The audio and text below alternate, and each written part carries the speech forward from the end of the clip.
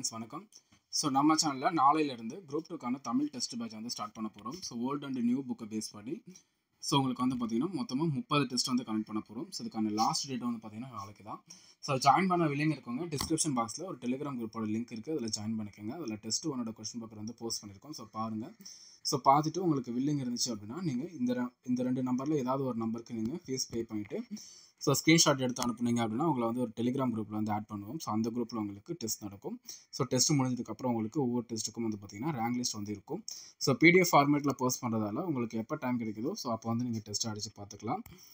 So இதில் வந்து உங்களுக்கு ஓல்டு அண்ட் நியூ புக் ரெண்டுமே வந்து கவர் ஆகும். சிக்ஸ்த்து செவன்த் எயித்து அதுக்கப்புறம் வந்து பார்த்தீங்கன்னா சிக்ஸ்த்துலேருந்து எயித் வரைக்கும் ஒரு ரிவிஷன் டெஸ்ட்டு ஸோ அதுக்கப்புறம் நைன்த் அண்ட் டென்த்து ஸோ அது முடிச்சதுக்கப்புறம் ஒரு revision so eleventh and twelfth so அதுக்கு முடிச்சதுக்கப்புறம் ஒரு ரிவிஷன் அதுக்கப்புறம் உங்களுக்கு அஞ்சு ஃபுல் டெஸ்ட் இருக்கும். டோட்டலாக வந்து முப்பது டெஸ்ட் வந்து இருக்கும்.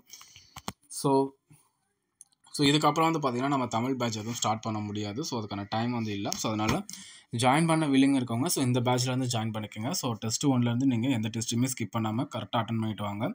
ஸோ கண்டிப்பாக வந்து தமிழை வந்து நம்ம கவர் பண்ணிட முடியும். வேறு ஏதாச்சும் டவுட் இருந்துச்சு அப்படின்னா கீழே கமெண்ட் பண்ணுங்கள் தேங்க்யூ